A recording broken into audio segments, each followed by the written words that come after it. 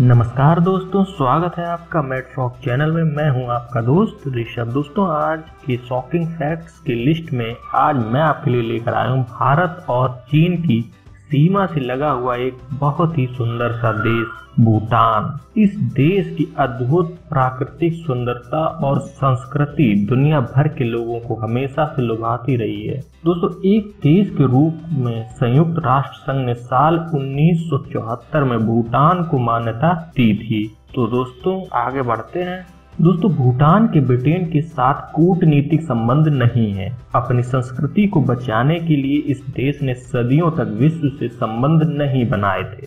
Internet और television को यहाँ 1999 में ही इजाज़त दी गई थी। और तो और दोस्तों, साल 1970 में पहली बार किसी विदेशी पर्यटक को यहाँ आने की इजाज़त दी गई थी। दोस्तों, अभी तक इस देश के उच्च अधिकारी विदेशी प्रभाव पर कड़ी नज़र रखते हैं।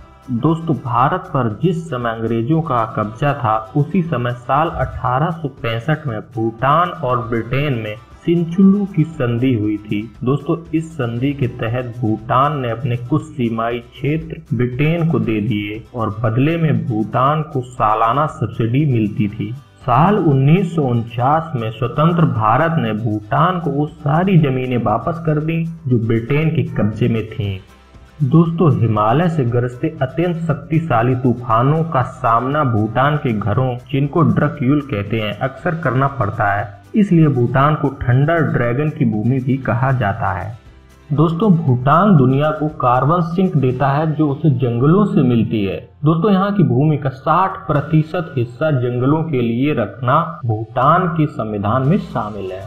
भूटान में कृषि, फल और डेयरी प्रमुख उद्योग हैं। वहीं दोस्तों, इस देश ने साल उन्नीस सौ निन्यानवे से ही प्लास्टिक की थैलियों पर प्रतिबंध लगा रखा है। भूटान का राष्ट्रीय पशु टाकिन है। दोस्तों, यह देखने में बकरी और हिरन की तरह लगता है। वहीं दोस्तों, इस देश के राष्ट्रीय खेल डॉट्स और तीरंदाजी हैं।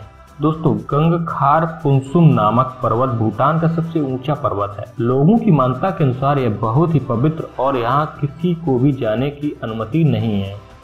भूटान दुनिया का अकेला ऐसा देश है जिसने साल 2004 से तंबाकू पर पूरी तरह प्रतिबंध लगा दिया है। लेकिन शराब और ड्रग्स अभी तक परेशानी का कारण बने हुए हैं।